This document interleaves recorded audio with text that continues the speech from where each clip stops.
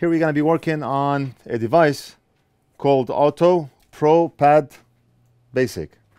I looked it up. This is a key programmer and they are pretty expensive. It's a $2,000 device. Customer brought it in here because he broke the charging port. The charging port is not on the board. We do not have the charging port. Big Boss already disassembled the board and it was a little bit tricky to disassemble it. We have not worked on this device before. Everything is in pieces here. That's the device. And I have the board on my bench here. So we're gonna go over it and see what's going on. We do not even know the shape of the charging port on this because the piece was not inside the box. So I do not know how it broke and fell off or if it has been opened before. That's how the board looks like. And the charging port, I can tell that it's ripped off from here. Let's take a look at the board. And I'm gonna use our new board holder to put that board in. Look at how nice it secures. And we're gonna be working on this part of the board here, okay?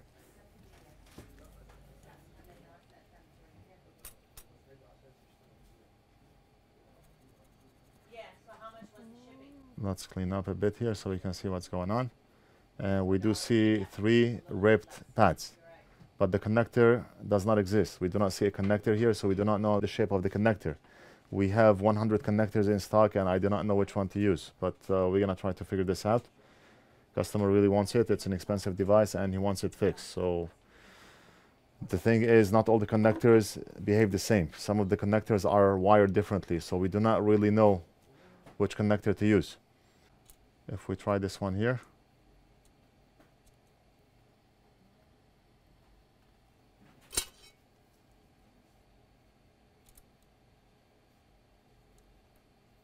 it's not gonna work. The legs are too narrow, they will not go here, so this one will not work.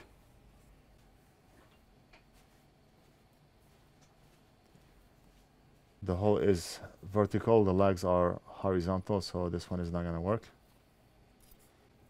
So we really have to find the right port for this.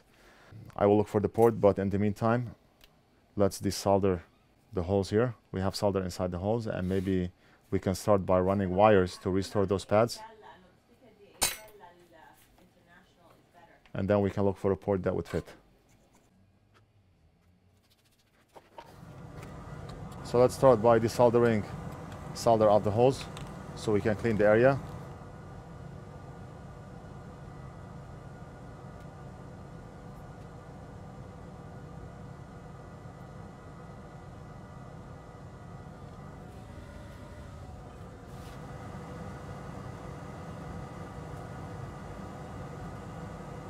See how when I applied low melt solder, we can easily wake up the holes.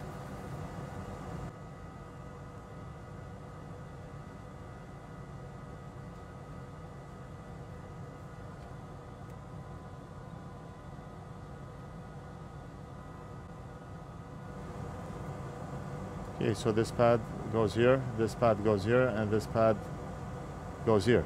We're gonna run the wire from here to here, here to here, here to here, apply some solder mask so we can secure those wires down in place and then we're gonna have to find a charger port that goes here that actually works. Like I said, we have 100 different types of charging ports, but they're not all wired the same.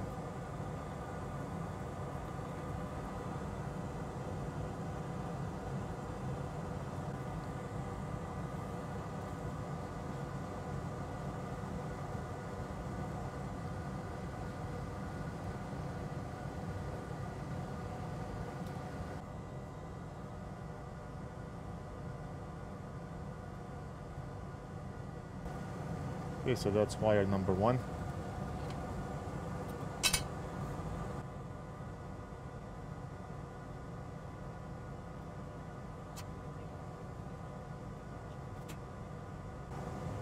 Okay, and that's wire number two.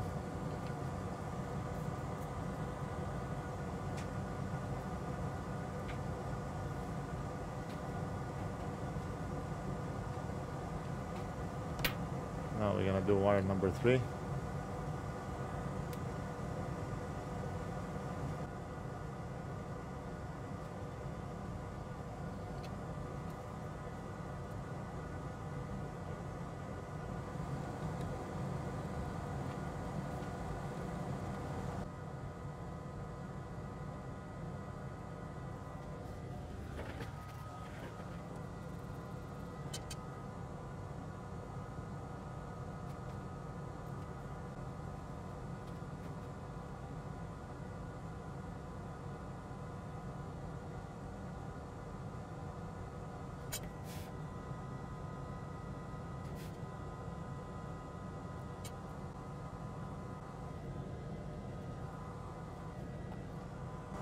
We're gonna apply solder mask so we can secure those wires down in place.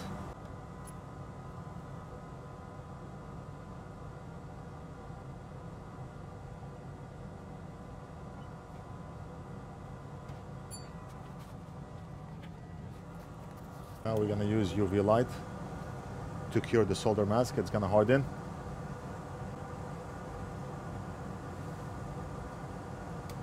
And wires are gonna be solid.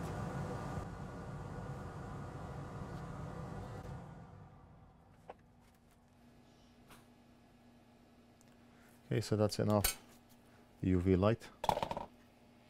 If we look here at our 500 charging ports box, we have 100 ports. Which one should we choose?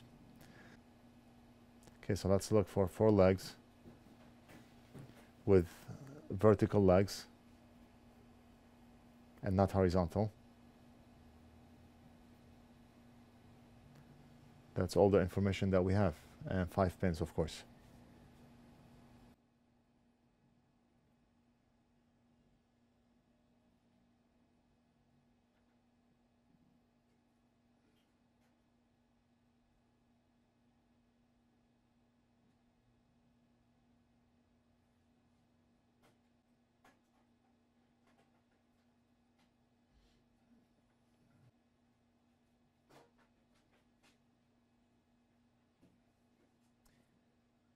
Maybe we can try 58. We'll keep that in mind. Because the back legs are narrow, so they will they should fit the hole. Assuming the port is a similar size. 58.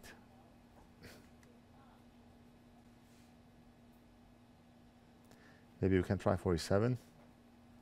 So we have 47, we have 58.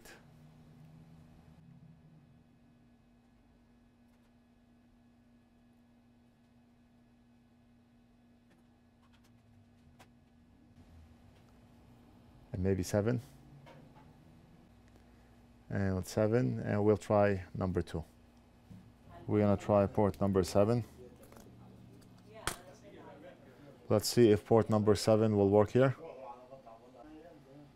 And no legs will not fit here. Let's try port number what did we say? 2747 58 I don't know if I can get to it today. Okay, well, Yeah.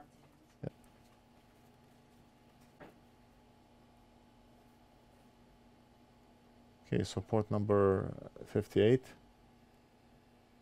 will not work. Let's try port number 2. Port number 2, and it looks like it fits. Port number 2 fits, but will it work? We do not know. It fits perfect. Let me also try port number 47. Hey there, Ashik, this one will be- No, this is the wrong one. 47 is the wrong one. So port number two is the one. Unless the port is wired differently and it will not work for this case, we will not know unless we try. So we're gonna use port number two. What I need to do now is we need to tin those wires so solder can stick on them.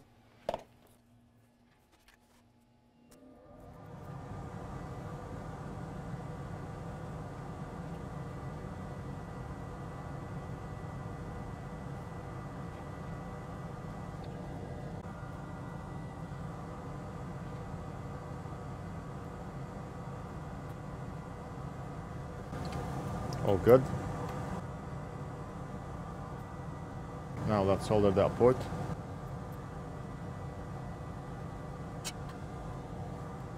Hopefully this will work. Because if it doesn't, then we have to find another port that would fit. And that will work. I really do not want to spend a lot of time working on this and having to go through a lot of ports until we find the right one, but this one looks like it's the right one based on the way that it fits. We do not know if the previous one had a lip or not. We may have a problem with the fitting, but honestly, no way to find out. Absolutely no way to find out. Okay, so I'm gonna apply solder onto the tip here, like this, and then we're gonna press down on the connector.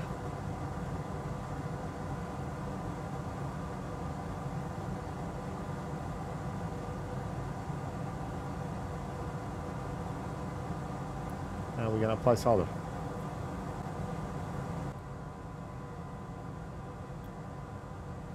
I'm just trying to secure the first and last pin so the connector is solid. And now we'll do the middle ones.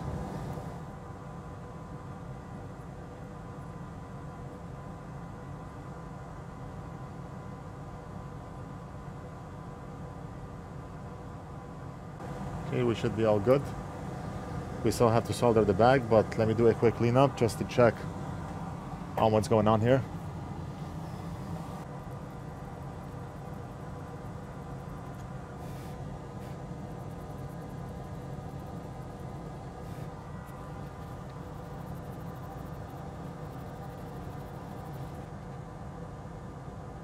The wire is moving with the pin, which is good.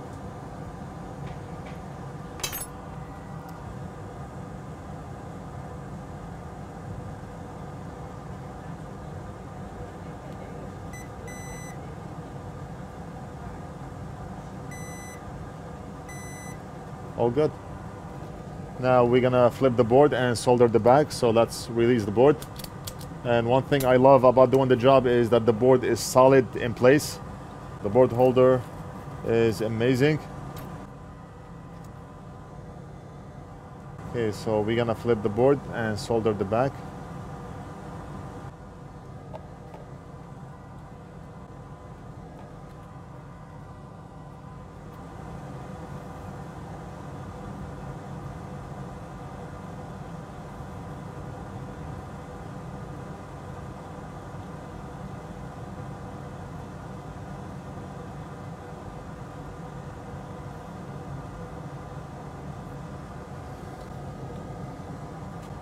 Just get rid of the glare and let's see how those joints look like. And just like factory look at the factory and look at ours. You cannot tell the difference.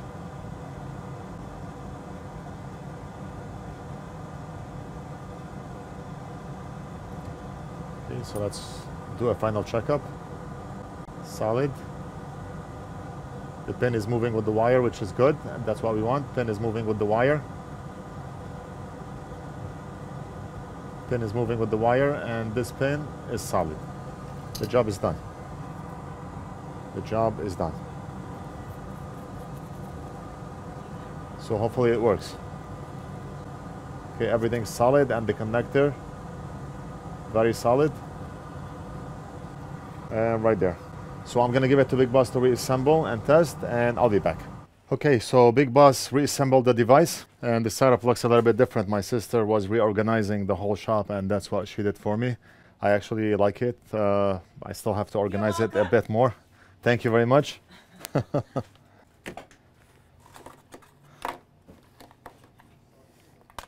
Let's go ahead and test. And